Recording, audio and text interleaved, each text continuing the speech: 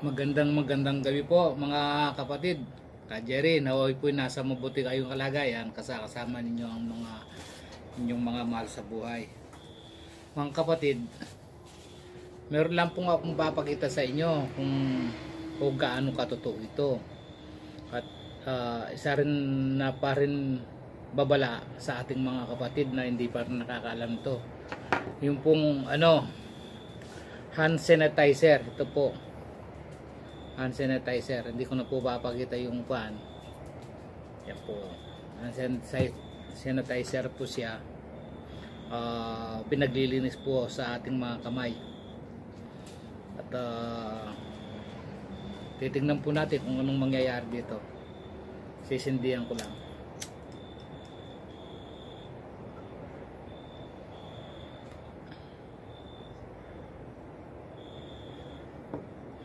Yan po mga kapatid.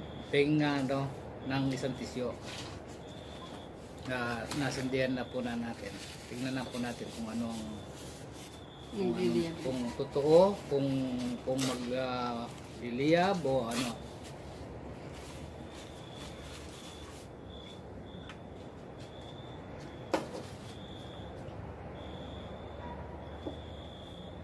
Yan po mga kapatid nagliyab po. So subukan pa po natin na isa. Ayan o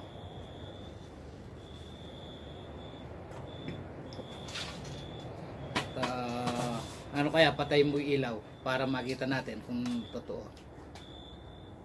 Mga kapatid ayan po patay yung ilaw. Nakita nyo? Oh nakasindi oh. Nakasindi. Yung kayang isang ilaw dun sa banda doon i, i, yung isa yung banda sa dinding Ah, ano yun? Sisindi? mo yun oh, ayan po mga kapatid.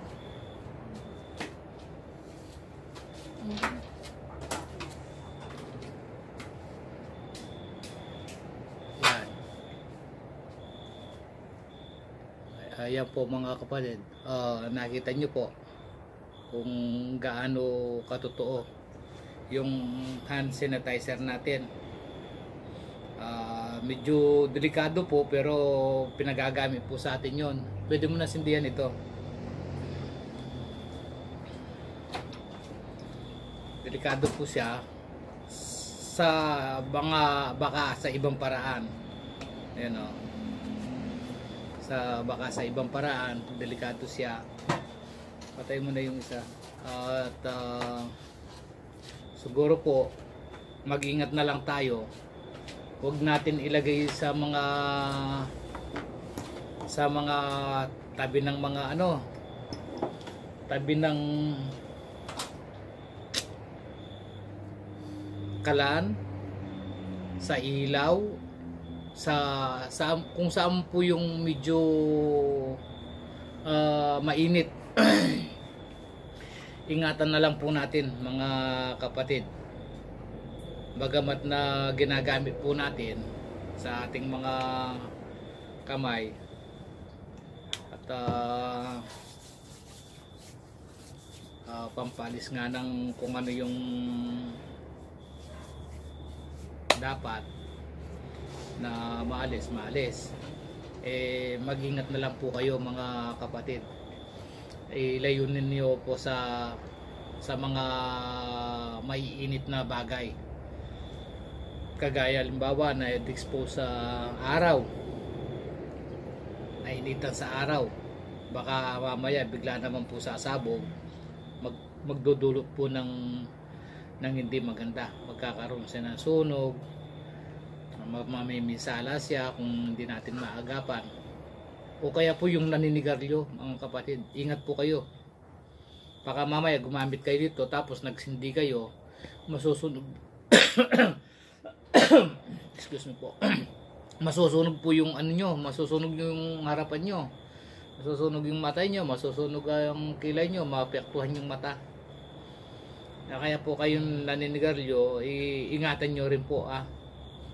Ingat po kayo rin dito. Uh, hindi naman po natin nasasabihin na huwag kayong gumamit nito, pero ingat po tayo. Huwag ilagay sa kalan, sa tabi ng kalan. Kung naninigarilyo kayo, layo nyo. Ilayo nyo sa lighter, ilayo nyo sa sa mainit. Lalong-lalo na po pala sa ano sa sasakyan. Yan, sa sasakyan baka mamaya so, so, sobrang init ng sasakyan na naiwanan nyo yung mga ganito eh magkakaroon po ng ano, mainitan siya at uh, magliliyab na lang ng bigla. Ayan po. Uh, ingatan niyo po mga kapatid. At, uh, isang ano lang po yan. Hindi naman po natin gusto na mangyari pero hanggat iwasan natin, may iwasan na po natin. Iwasan po natin yung mga mga bagay na ganito. Kasi po pagka nangyari na hindi na natin siya pwedeng baguhin pa o ibalik pa pagka nangyari na po yung hindi dapat. Lalo na sa mga bata. Sa mga bata po delikado po sa kamay nila. Kung halimbawa eh pinagagamit nyo, kayo po muna tapos eh, i-applause nyo lang sa sa kamay nila ng mga bata. Huwag nyo pong direkta sa kanila ha. Kasi baka may tendency po yung mga kamay nila magka magka ano naman po dahil lang mga balat ng mga bata maninipis. So baka masunog. Ayan po, ito eh ano lang po sa atin to. Pag-iingat lang po sa atin para maiwasan po natin kung ano man po yung idudulot nito. Wala naman pong masama kung iwasan natin na ilagay sa tamang lalagyan. Halimbawa lagay natin dyan sa medyo ah, malamig na ah, lugar sa hindi yung inaabutan ng ng init o yung sa ano sa sa sasakyan. Wag natin pong ilagay sa sasakyan dahil sa sasakyan eh mainit po yan. Pagka walang tao mainit. Magkakaroon po ng ano mga exclusive yan. Puputok po. Masusunog ang ating mga sasakyan o ang ating mga kagamitan. Kaya paalala lang po mga kapatid ingat lang po tayo dito sa ganitong uri ng chemical po siguro ito eh. Hindi natin alam kung ano ang ingredients nito. Marami pong ingredients to. Pero ah, ito po yung pinang hand wash natin. Pagka gusto natin mag sanitizer yan ginaganyan po natin siya. Yan. So pagka ganito po, wag muna tayo magnigarilyo. Masusunog po tayo sa muka, mga kapatid. Ingat po tayo. At ah, yan po. Sa paalala lang po mga kapatid. Ah, magandang gabi po sa inyo. Ah, sana po ay nakatulong kahit papano itong ating sinagawang ito sa ating mga kapatid na mapaalala po natin sa kanila.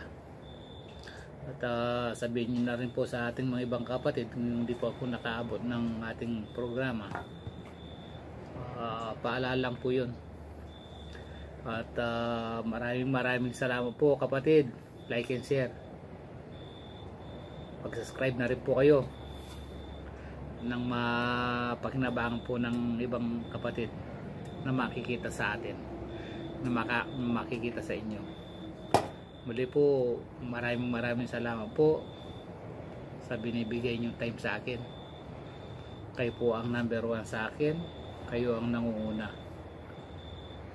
God bless you po. Ingat po kayo lahat mga kapatid. Lalo na sa dito. Ingatan po natin. Bye bye po. God bless you. Ingat po kayo